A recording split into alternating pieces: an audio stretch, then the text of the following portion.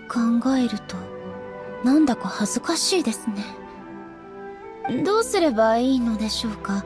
何か私に案をください。見栄えするものがいいですが、大げさすぎるのは避けていただけると、出ないと恥ずかしくて仕方ありません。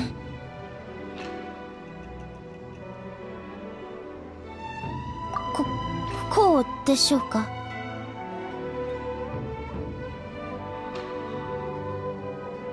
りました。ここは少し慣れませんね。こうですか？わかりました。ここはあなた気楽なら、こうでしょうか？肩肘を張りすぎない楽な姿勢です。はい。ではお願いし、いい角度を決めて、A を記録しよう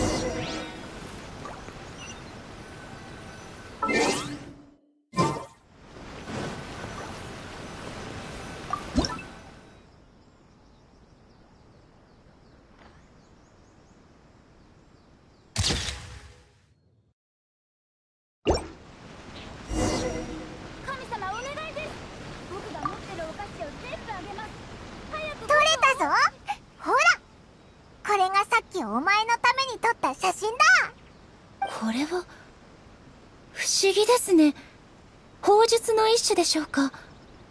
この中にもう一人の私を複製したのですか。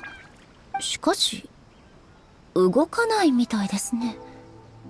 話もできないようです。先ほどまで体がこわばっていてあまりよく撮れていないと思っていましたが今見てみると想像よりもだいぶ自然な感じで撮れているように思えてきました。全く同じ姿勢でそして背後の風景も一体どういう仕組みなのでしょう？それがこいつのすごいところなんだ。少々お待ちを。まだ原理を理解することができていません。もう少し説明を。つまりこの中にいるのは私ではない。私ではないのならどうして私と全く同じ姿なのでしょう？そしてもし私であるなら今の私とは一体何なのでしょうか？これはおいらの回答能力を超える質問だ。そうだぞ。お前は将軍を自分のことだと思ってるのか？もちろんです。今まで稲妻の管理を他の人に任せようと思ったことはありません。じゃあ今のお前は何なんだ？それを言うなら私は私です。疑い私の存在。なんだか分かってきたような気がします。私は私であり一人しかいませんが無数の形で存在することができるのですね。どのような形で存在するのかはあまり重要なことではないようです。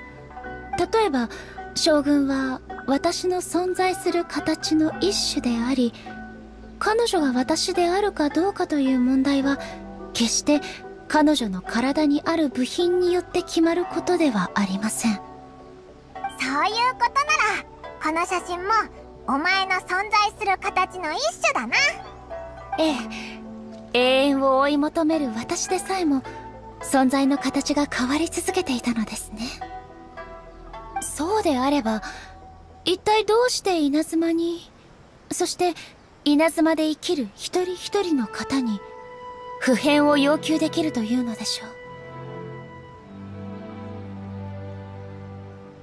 今回あなたたちとの旅で見たものは全て私の認識外にあるものでした。はあ、お恥ずかしい一面を見られてしまいましたね。あなたたちにはわからないと思いますが、これらは私の認識に大きな衝撃を与えたのですよ。